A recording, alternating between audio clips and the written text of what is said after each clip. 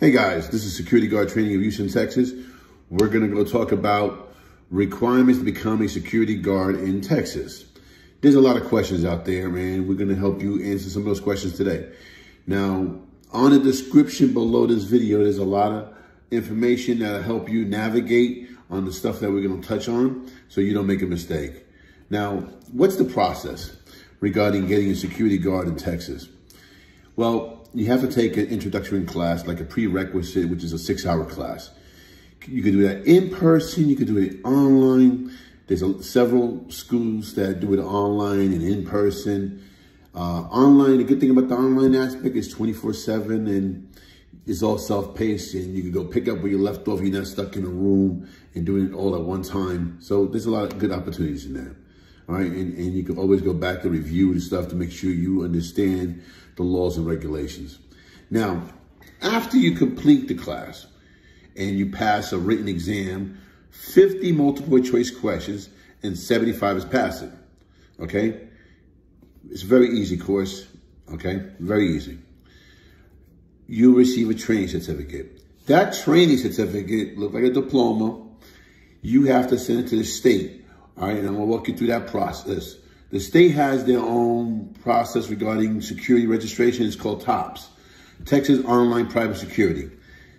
We're going to have the link below for you to follow through and look at the information so you can make the right steps. And there'll be a video incorporated with that so it'll help you so you don't miss a step.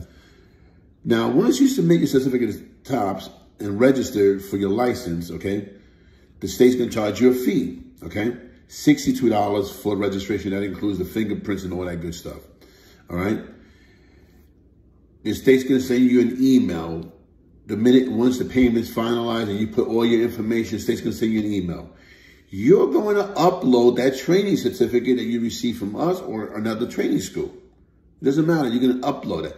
Now, please note that training certificate has a 90 day window on the date of the class completion, 90 days from then is when it's valid. After 90 days, it's not valid. So the state might send you an, email saying we need a current certificate. All right. So keep that in mind. So your window is a 90 days to get everything done. Fingerprints, registration, everything done. One, two, three. Now the state's going to say you need an employer. Now, an employer has to give you their ID number. All right. Now, our license number is listed below. That's that's not to be included as an employer because we're not employing you.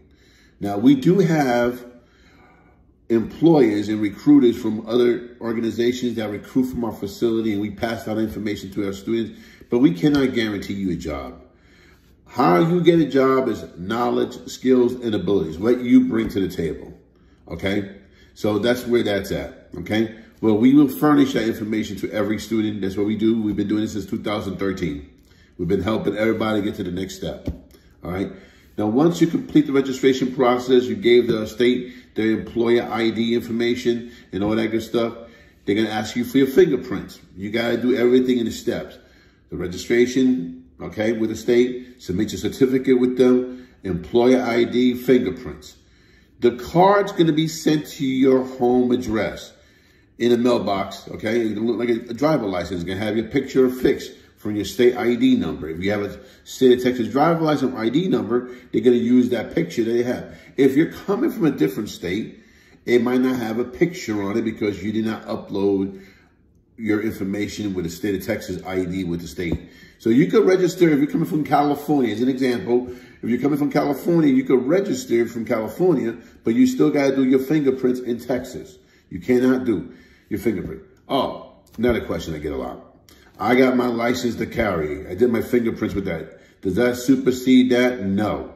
You got to do your fingerprints all over again. Okay, I answer that question, okay? So understand it's a process. If you need more information, there's all the links below the description that will walk you through the process.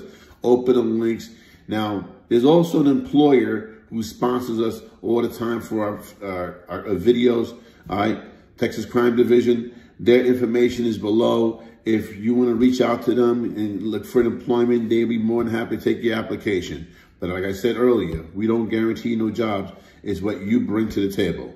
If you like this video and the contents of this video, you give a like button. If you want to subscribe to our channel, that'll help us out to keep reaching out for more people and helping them out to go to the next level.